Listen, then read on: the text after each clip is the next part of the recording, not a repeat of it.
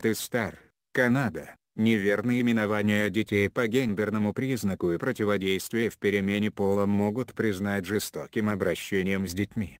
Теса Викандер, Торонто Стар, Канада. 16 марта 2019 года. В прошлом месяце Верховный суд Британской Колумбии постановил, что некий подросток при поддержке множества врачей и работников системы здравоохранения может начать гормональную терапию даже несмотря на то, что его отец уверен, что подросток еще недостаточно взрослый, чтобы принять такое решение самостоятельно. Отец подал апелляцию на это решение 4 марта. Эксперты по правовым вопросам говорят, что решение повлияет на обязанности родителей и семейное право в целом. Родителям придется уважать выбранный их детьми пол, имя и то, какие местоимения они предпочитают при обращении к себе. Также это создает прецедент для перемены пола среди подростков всей провинции, поскольку предполагает, что они могут обратиться за медицинской помощью по соображениям здоровья, а не политики или морали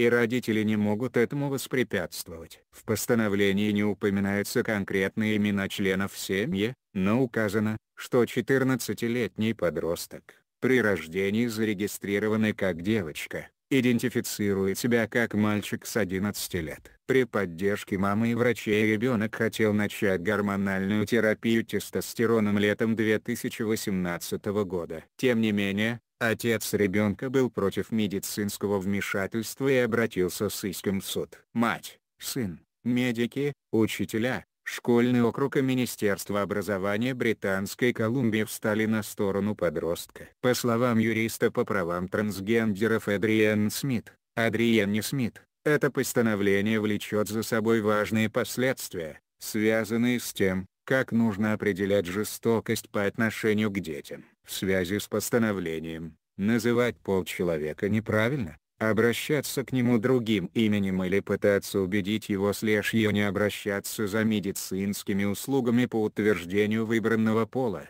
Все это формы семейного насилия, и это очень важно, говорит Смит. Иными словами, если родители обращаются к ребенку с неверным наименованием пола и отвергают его слежь потому, что он слежь она трансгендер, это может представлять собой случай эмоционального насилия, о котором следует сообщить властям. Хотя Смит напрямую не была задействована в данном деле, постановление соотносится с ее работой в сфере законов о правах человека, а также в личном плане. Смит, трансгендер и гендер-квир, и предпочитает по отношению к себе местоимение «тей», «там», «таир», английский «они», их заменяют обращение «он», она когда неизвестен пол человека, о котором идет речь, примечание Перев, Смит, который на данный момент 42 -го года, жалеет, что такой защиты не было, когда она была транссексуальным ребенком в Бернаби, Британская Колумбия. Меня воодушевляет то,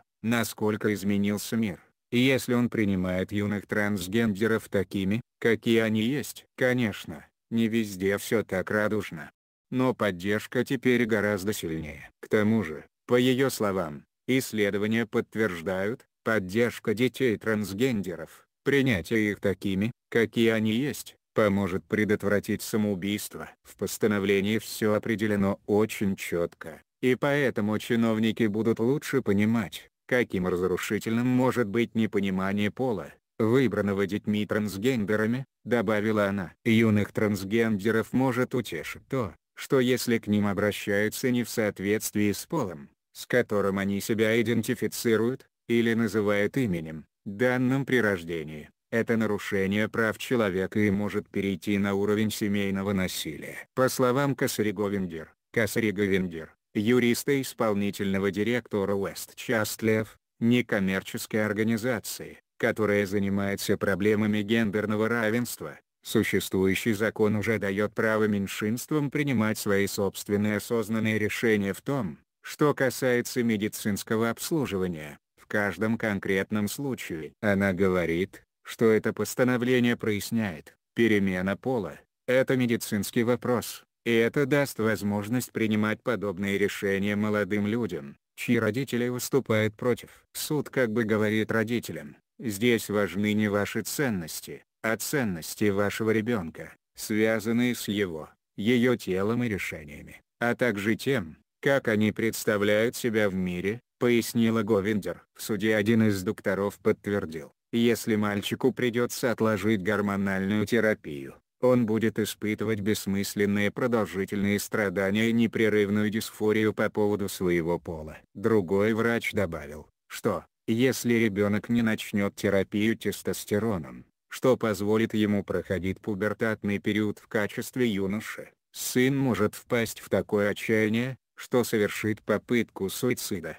а он уже предпринял такую попытку весной 2018 года. Есть значительный риск дальнейших попыток суицида, и может быть, одна из них окажется последней, если терапия будет отложена, сказал врач. В конце концов, суд принял решение в пользу того, чтобы подросток получил гормональную терапию. И хотя отец обжалует это решение, мальчик, тем временем, может приступить к терапии. Он просто считает, что его ребенку нужна защита на данном этапе, что он просто слишком молод, чтобы принимать такое решение, пояснил газете «Ты старый юрист», представляющий интересы отца, Эрб Дентон, Эрб Дунтон. Но согласно постановлению суда, многочисленные доктора, включая психиатра, утверждают, что подросток осознает риски и преимущества этой терапии. Теса Викандер, корреспондент в Ванкувере,